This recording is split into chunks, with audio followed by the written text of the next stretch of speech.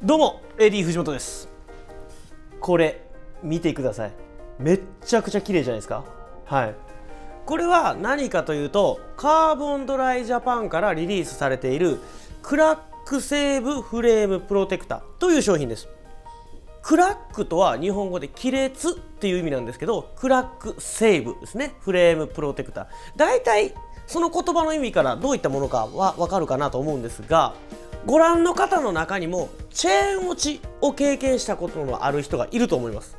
チェーン落ちとはこんな感じでインナーのチェーンリングよりチェーンがこう内側に行ってしまってこんな感じでねチェーンが外れちゃってるような状態。こういう状態をチェーン落ちと言います。でそのチェーン落ちになった時に一番ショックなのがこのチェーンステーあたりにねガリッと傷がいってしまうんですよね。結構派手に傷がいくこともあって結構テンション下がります。そんな時に大切な愛車を傷から守ってくれるのがこのクラックセーブフレームプロテクターなんですねこんな。このプロテクターどういう風に使うかというとこのチェーン落ちした時にガリッと傷がいきやすい。まあこの辺ですよね。この辺にこのシートをピタッと貼り付けることができるんですよ。すごい安心ですよね。でこのフレームプロテクターなんですがフレームによっていろんな形のチェーンステーがあると思うんですがどんな形のチェーンステーでもぴったり合う形で取り付けられるんですよ。というのも装着したいチェーンステーの形に合わせてこの形を自由に変形させることができるんですね。実際にこの後このシートをチェーンステーに合う形に変形させて取り付けてみたいと思います。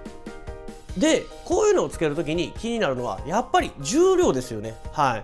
フレームをチェーン落ちの傷から守れても重量ががっつり増えてしまうのは嫌ですよね。ご安心ください、えー、これね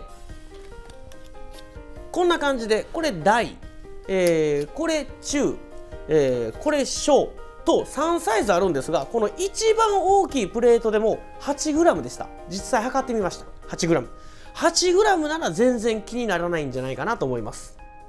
このフレームプロテクター以外にもチェーン落ち防止のアイテムとしてこんな感じのチェーンキャッチャーと呼われる商品があります。ちなみにチェーンキャッチャーを装着した車体をここに貼っとくんでこんな感じで装着できます。はい。でチェーンキャッチャーはそもそもチェーン落ちが起きないようにするアイテムでもちろんこれはこれで結構効果があるアイテムなんですがそれでもチェーンが落ちてしまうっていう事例が少なからずあるんですよ。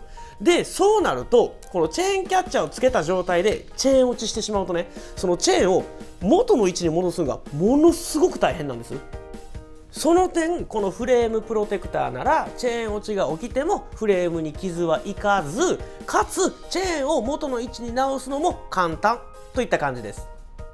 ただ一部取り付けが不可能な車体もあってそれはどんな車体かというとインナーのチェーンリングとフレームの隙間が 2mm 以下の車体には取り付けが厳しいみたいです。まあ、あの大概のスポーツバイクは、えー、インナーのチェーンリングとフレームの隙間 2mm 以上空いてるので基本的には大丈夫だと思います。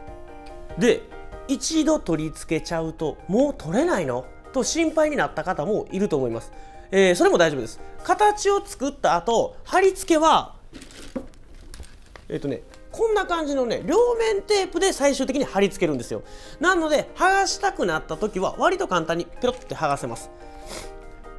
つまりどんな形の場所でもカーボンを成形して形を沿わせることができて剥がしたい時も比較的簡単に剥がせてまたねこう見た目もこんな感じでかっこいいのでまあその汎用性の高さからこのチェーンステ以外ここ以外の場所にもこのフレームプロテクターを貼ってる人もいるみたいです。具体的にはねこのワイヤーがこう干渉してしまうここであったりあとこのディスクブレーキモデルってホイールを外す時にねこのフロントフォークとローターの間こうこすっちゃったりするんですよ。その隙間にこれを貼っとくのもありかもしれないですね。まあここに関してはこのどれだけの隙間がそこにあるかっていうとこになってくるんですがまあ貼れる場合はね貼るとそこに傷がいかなくなるんでいいと思います。では実際にねこのフレームプロテクター貼ってみましょうかね。はい、えー、ではこのクラックセーブフレームプロテクターを実際このキャノンデールのトップストーンカーボンにつけていきたいと思います。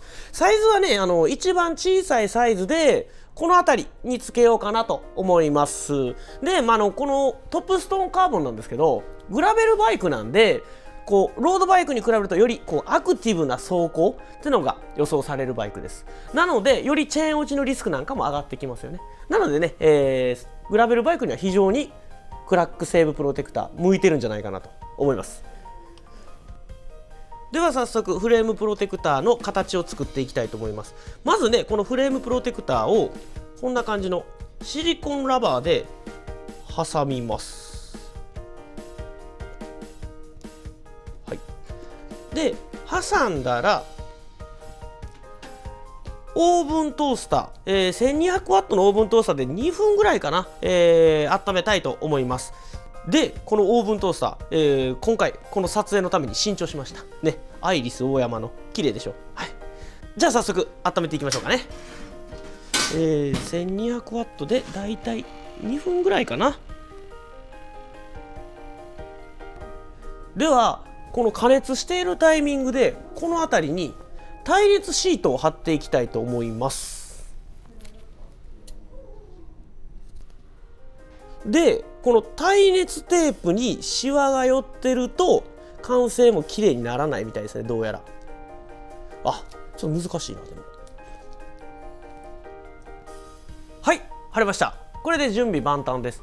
でメーカーさんに聞いたところこの温めてる時にねたまに中でこう様子見てあげてくれと、うん、ちなみにこれ、えー、耐熱グローブ250度の熱いものでも30秒近く触り続けれるらしいです。これねすごいでしょ。はい。でたまにこう様子見てカーボンが柔らかくなってきてたらもう OK らしいです。まだもうちょいかかりそうですね。はい。えー、2分温まったんで1回取り出してどのくらい柔らかくなってるか見たいと思います。はい。うわ熱そう。あもうふにゃふにゃですわカーボン。おふにゃふにゃ。これで形を作っていくわけです。あちゃちゃちゃちゃ形を作っていくわけですね。はい。よいしょ。この辺かな。ああすごい。もうカーボンふにゃふにゃ。これなら綺麗に形作れますわ。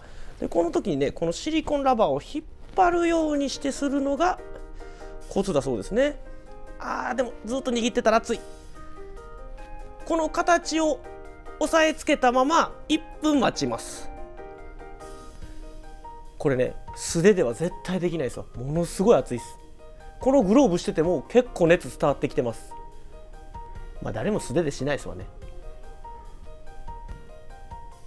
はい、えー、もう素手でも触れるぐらい冷えてきました。なのでねだいぶカーボン固まったんじゃないかなと思います。こんな感じでね。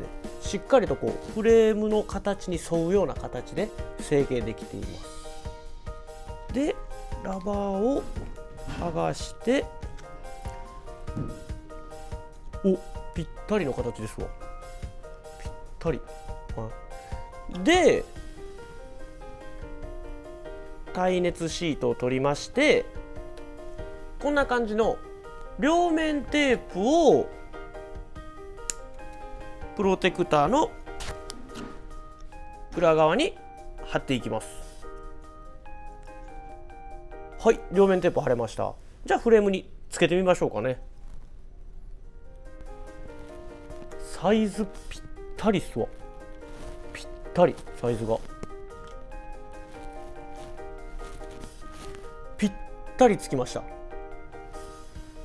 で最後にこのカーボンドライジャパンのステッカーを貼りたいと思います。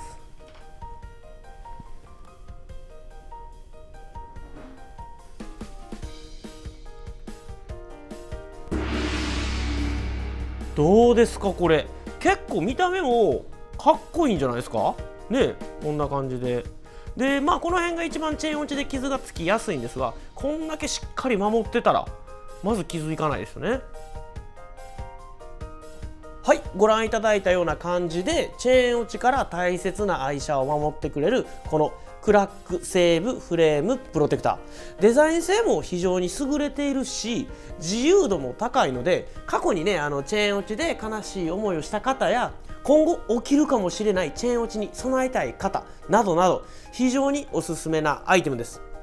全国的にも取り扱いしているショップ意外に多いです。もちろんシルベストサイクルでも取り付け可能です。ぜひね試してみてはいかがでしょうか。クランクからチェーンが外れてクラックがフレームに入ってしまうと気持ちも暗くなるんでフレームプロテクターつけておきましょう。最後までご視聴ありがとうございました。チャンネル登録もぜひお願いします。チャンネル登録をするメリット。次回の動画を見逃さない。過去の動画も遡ってご覧いただけます。チャンネル登録数が増えると AD 藤本のやる気もどんどんアップしていきますので是非登録してください。さよなら。